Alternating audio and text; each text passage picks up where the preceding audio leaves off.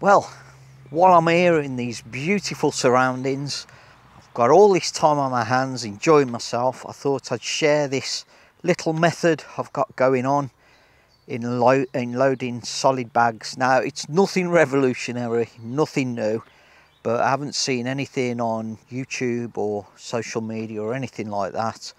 Um, but I like using it. I like using this method. And talking of methods, it's very similar to a method feeder, and I'm sure there's loads of you out there that have um, used that before. So yeah, let's get on with it, and I'll show you how to do it. So these are my go-to bags. They're from Carp King, and they're currently the cheapest bags on the market, as far as I'm aware. You know what? They're brilliant. Okay, so you can see here the size 70 by 100 mil, which are perfect for a two to three ounce lead. If you want to see the tests I've done on these bags and the dissolve times, I've put a link at the top of the screen to that particular demo. I'm fairly sure you'll be impressed with the findings. Okay, so this is a little bit fiddly, but trust me, it's worth the extra few seconds. Okay, so the whole object of this is to get your lead to hit the bottom of the lake with your bait, always presented on top. So pop your lead in with the hook bait on top and keep the hook link to the side of the lead. A small PVA nugget can help hold the hook bait in place. And let's proceed to load the bag. But what we need to do here is we need to put our fingers underneath and support the lead.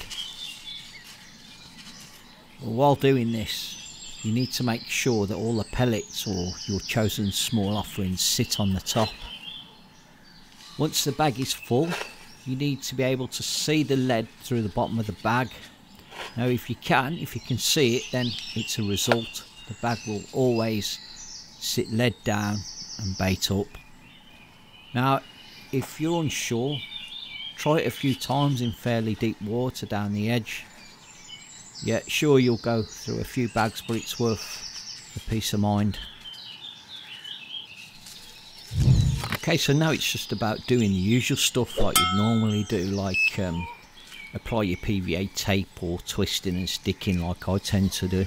Um, I think I'm too tight to buy the tape.